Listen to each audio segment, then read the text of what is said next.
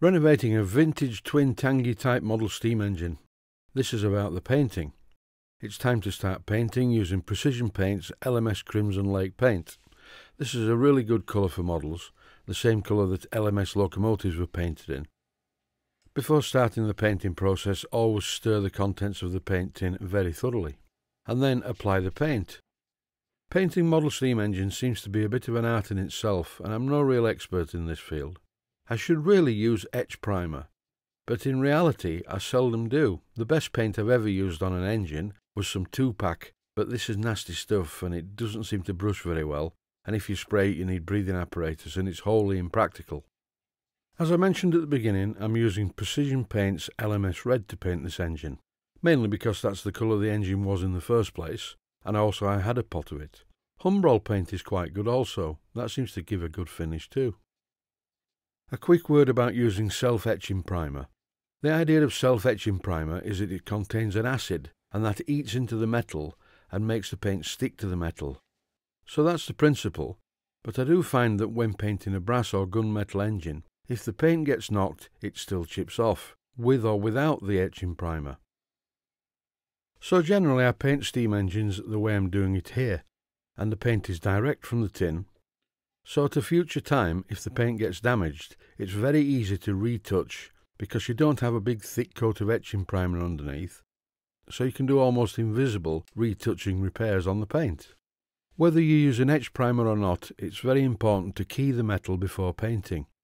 This is done with some medium sandpaper and puts a series of fine scratches on the metal that the paint can stick to. The most important stage in the painting process is the preparation, and here's me rectifying a mistake.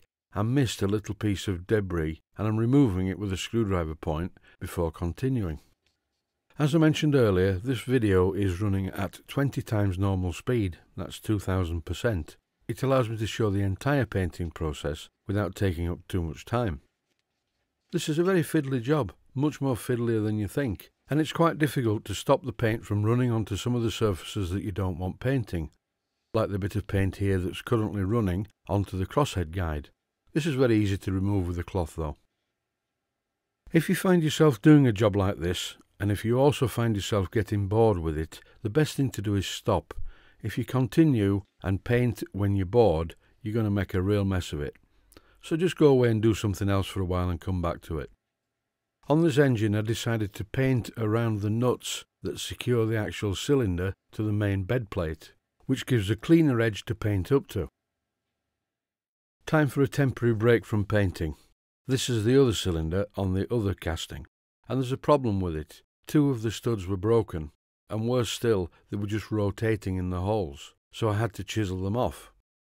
Looking closely at the state of the holes on this cylinder cover tells me that someone's had problems with this before. I have to put this right, and the easiest way to put it right is to unscrew all the cladding. I initially thought that this cladding was held in with small rivets, but they're very tiny screws, and they're not going to come out. I think the first thing to do is to clean up the cylinder covers. So what I'm doing here in the lathe is refacing the front of the cylinder cover. I'll be doing this to both cylinder covers to make them identical. Once I've machined the first cylinder cover, I use a micrometer to see how thick it is.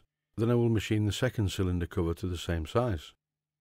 And here they both are, freshly machined and cleaned up. And as you can see, the cylinder cover on the left is a bit of a mess. The holes have been filed out and drilled bigger and messed about with. This is not my doing. Anyway, so now I know that it's not a feasible proposition to remove the cylinder cladding, I may as well paint the rest of the casting.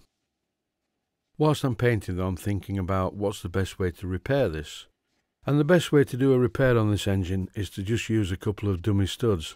Luckily, there are plenty of other studs to hold the cylinder cover in place. Here are the freshly painted cylinder covers with some nice Crimson Lake paint in the centre. So now all I have to do is go back to the painting and give the other parts another coat.